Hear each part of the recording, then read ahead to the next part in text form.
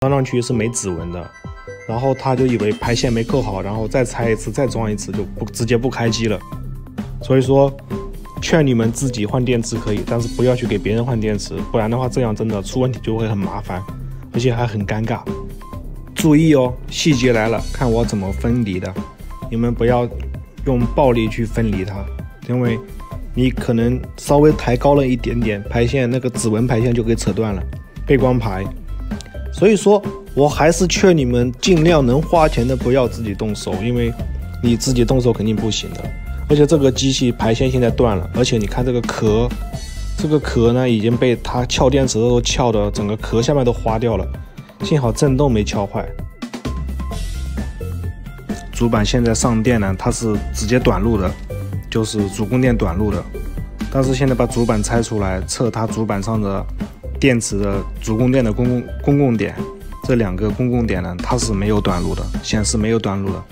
一上电就短路。这种一般都是没有把电池取下来，直接装屏，直接扣屏，导致灯控烧掉了。然后本来是把这个已经拍出来的，但是拍到最后显微镜突然抽风了，视频就没了。但是现在可以看到，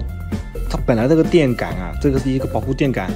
已经被烧的已经融化了，就你用。镊子搓一搓，它就变成粉末状的了。然后主板也被烧穿了，还有旁边的电容啊、什么电阻啊，都都黢黢黑黢黑的，都是被烧的熏黑掉了。然后现在我要把这个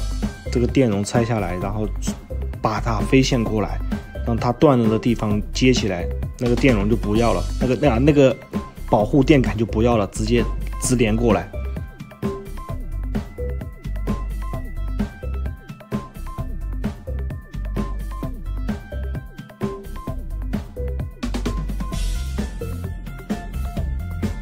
在点位图里面可以看到，这个熔断的这一颗，融化的这一颗是 FL 三九零幺啊。这个保护电感一端是通向灯控的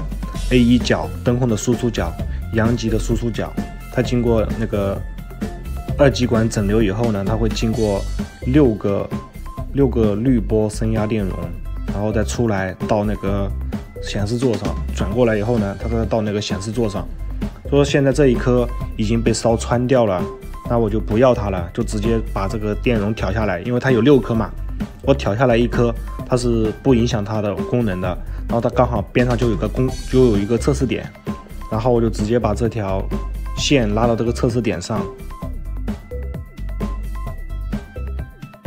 这个时候呢，主板已经不短路了。它短路的原因是因为这个保护电感。被融化了，然后板板都烧出了一个坑，它肯定会短路啊。然后也不是主供电短路，是板层里面短路。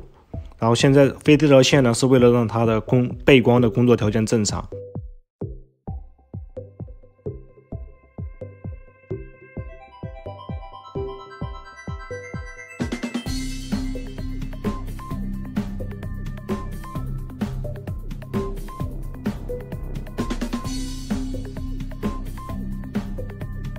现在板层短路的问题也解决了，背光这条断线的问题也解决了，然后已经测过那个显示座的这边的阻值也是正常的了。现在就是打点滤油，让它绝缘和绝缘和固化一下。等一下开机看一下还有没有有没有别的什么问题，因为它这个屏幕不知道还能不能显，如果能显的话，就是背光盘换一条就好了，就会有指纹了。然后。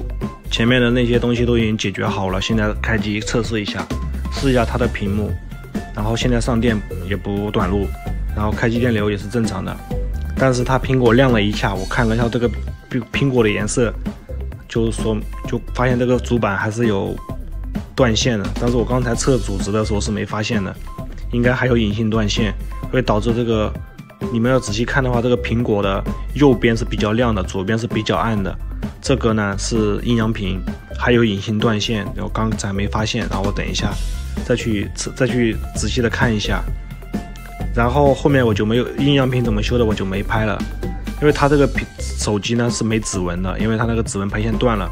我就用了我的侧机屏，然后装了一个别的指纹上去，让它让它进系统，给你们看一下阴阳屏，因为我是修手机的，经常看，所以说一眼就看到了，可能你们还在很懵的状态。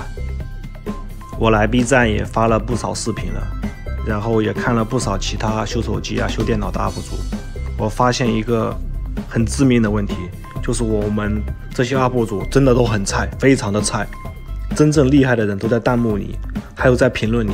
这些人都是大神。真正的大神，他不是出来当 UP 主，而是隐藏在弹幕和隐藏在评论区的。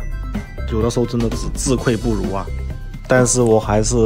厚颜无耻的在这里，希望大家能给我没点关注的人给我点点关注，点过关注的人给我点点赞，或者你们不给我点点关注也行，你们帮我点点赞吧，就拜托大家了。嗯，距离过年还有七十九天，祝大家新年快乐吧！